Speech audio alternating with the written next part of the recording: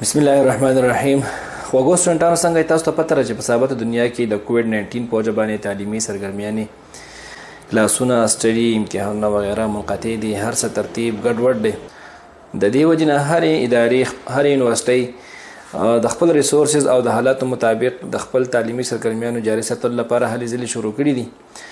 دغه شانتي علامه اقبال اوپن یونیورسټۍ د خپل سټوډنټانو د فیسیلیټیټ کولو لپاره د انلاین امتحان فیصله کړې ده دا امتحان به د اټم سیمستر 2020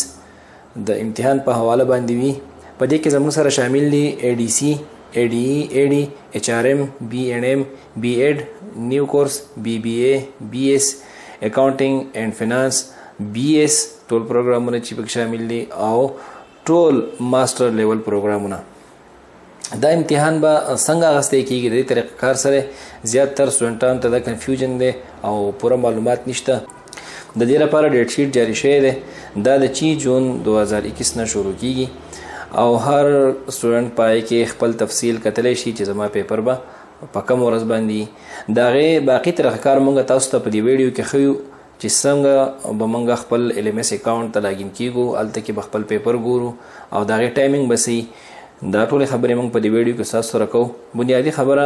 دا ده چې په دې کې به چې کم کورسونه په انګلیش لینګویج کې دي نو هغه به ټایپ کول واړي په ایم ایس ورډ کې بیا به هغه پی ډی ایف یا ورډ فایل کې اپلوډ کول واړي د دغه علاوه چې کم کورسونه په اردو کې دي یا په عربي کې دي نو دا هو د لپاره دا شرط نشته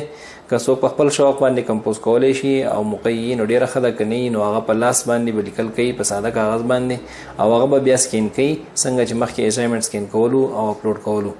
دغه شانتي به هغه سکین کیږي او هغه به بیا پی ډی اف ته کنورټ کیږي د 5 ام بی نه کم سایز وي او د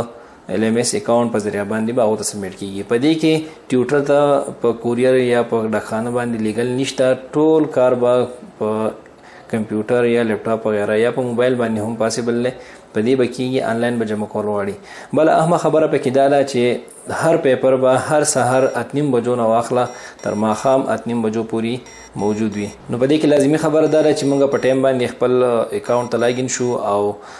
څنګه پیپر شروع شي چې موږ ډاونلوډ کو هغه وګورو او دا غیر لپاره کار شروع کو چې کوم ریسورسز منګه استعمالولای شو دا غینه د پیپر متعلقه مواد حاصل کو او پیپر خپل کمپوز کو یا ولی کو او ودین ټایم هغه بیا منګه په صحیح طریقه باندې اپلوډ کو دا سینه چې ټایم زمونږ نه لاړ شي او بیا راته مسلې دا شانتي که داسې څه ایشو چاته راشي چې دا پیپر نه اپلوډ کیږي یا سم مسلې نو هغه د خپل علاقايي دفتر سره رابطه کوي او په دې تمه دې نه کېږي چې یاره خیر دی که دا زمانه وشو نو زه به بیا په ډاکخانه باندې ولېږم نو ډاکخانې والا آپشن پکې نشته که په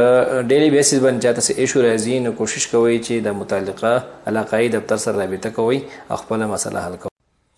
د ټول نه وړاندې به موږ د علامه اقبال اوپن یونیورسټۍ مین ویب سایټ ته لاړ شو aiou.edu.pk هلته کې به موږ ډیټ شیټ وګورو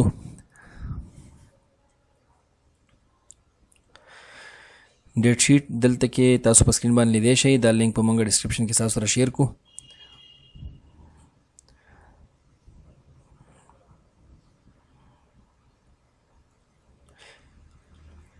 دینه پس به تاسو د آګاهی